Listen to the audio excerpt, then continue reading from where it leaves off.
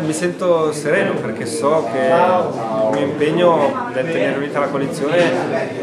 aveva, era affiancato da, dall'impegno di tutti gli altri segretari, degli assessori, dei consiglieri. Ci sono tante cose che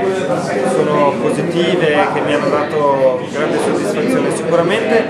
tra queste eh, ci sono i progetti della Filanda perché dopo più di vent'anni andremo a consegnare alla città uno spazio importante, civico, nel cuore del centro storico storico dove anziani, famiglie, bambini e tanti altri cittadini potranno fruire di questi nuovi spazi, il nuovo eh, centro natatorio la riqualificazione del centro sportivo, ma dico anche l'impegno eh, legato all'ambiente, la ciclabilità, eh, il nuovo PCT ovviamente con eh, il risparmio di territorio, il,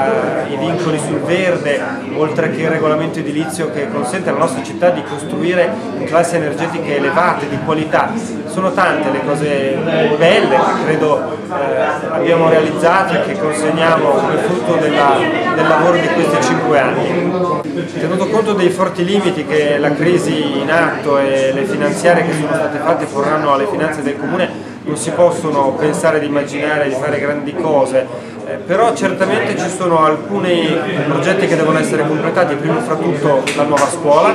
i temi dell'ambiente, della sostenibilità ambientale e i progetti legati alla famiglia e ai bambini. I bambini eh, ne sono nati davvero tanti nella nostra città in questi anni, sono certamente il futuro di Cernusco e quindi ci sono progetti, ci sono idee che riguarderanno espressamente questo target, il target delle giovani coppie, delle giovani famiglie e dei bambini.